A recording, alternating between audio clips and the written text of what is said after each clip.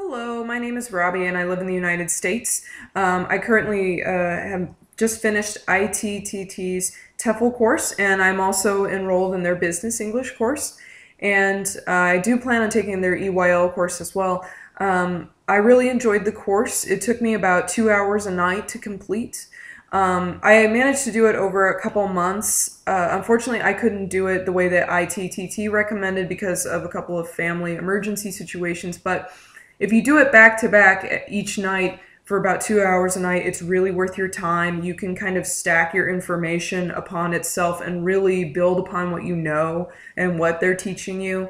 Um, I had a tutor named Peter who was really good. Um, really good tutor gave me a lot of really helpful feedback. And the nice thing about the TEFL course too is that ITTT doesn't leave you to flounder. They also give you information about how to get a job, um, the different places that you might be going to. You can check online um, message boards about people who are there right now.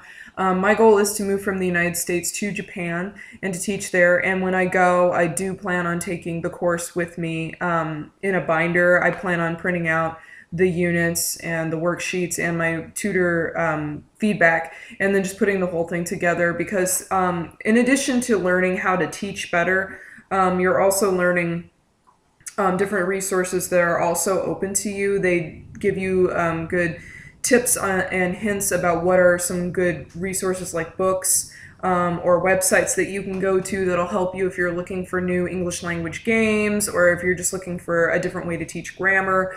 Um, it's not just ITTT. They also tell you about other ways that you can learn about teaching English as a second language, which I think is really helpful. So I had a really great time with the course. Thank you so much for your help. And um, hopefully I will see you in Japan. Bye.